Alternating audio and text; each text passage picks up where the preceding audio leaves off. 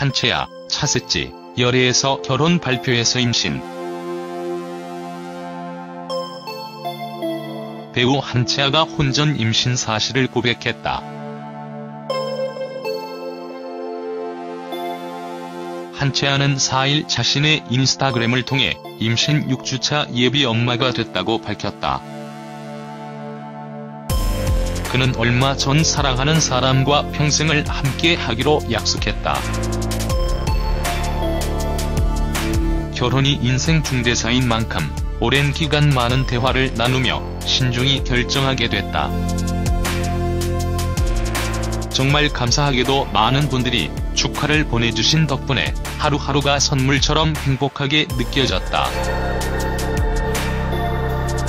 그리고 그렇게 행복한 날을 보내던 제게 새 생명이라는 또 다른 선물이 찾아왔다고 전했다. 이어 현재 6주차에 접어든 예비 엄마가 됐다. 결혼 준비 중 갑작스레 찾아온 새 생명이라 더욱 소중한 축복으로 느껴진다. 아직 안정이 필요한 시기라 모든 것이 조심스럽지만 기쁜 일인 만큼 저를 응원해주시는 분들께 먼저 소식 전하고 싶어 이렇게 글 남기게 됐다. 부디 따뜻한 시선으로 축복해주시면 감사하겠다.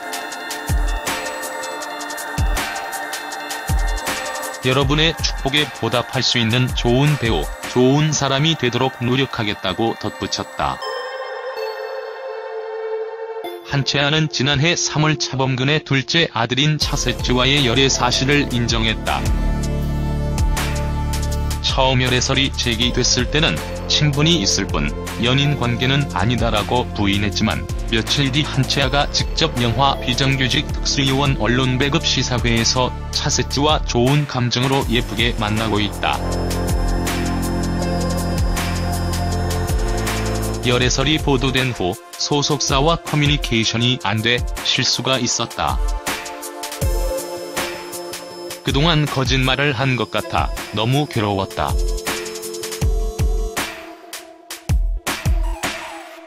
를 숨기고 싶지 않다고 밝히며 공개 연인이 됐다. 그로부터 1년 만인 3월 8일 한채아는 차세치와의 결혼 소식을 발표했다. 한채아 소속사 미스틱 엔터테인먼트는 한채아가 소중한 만남을 이어온 차세치와 서로에 대한 사랑과 신뢰를 바탕으로 평생의 동반자가 될 것을 약속했다고 전했다. 당시 한채아 측은 혼전 임신에 대해서는 부인했다. 그러나 한 달 여 만에 또 다시 임신 소식을 전하게 됐다. 이에 대해 소속사 측은 당시에는 정말 본인도 임신 사실을 알지 못했다. 한채아가 지난주 몸이 좋지 않아 병원을 찾았다. 임신 소식을 알게 됐다. 당시에는 정말 몰랐던 일이지만 경사를 알게 된 만큼 본인이 진정성을 담아 직접 임신 소식을 전하기로 해 SNS에 글을 남기게 됐다고 해명했다. 한채 아는 5월 차세지와 결혼식을 올린다.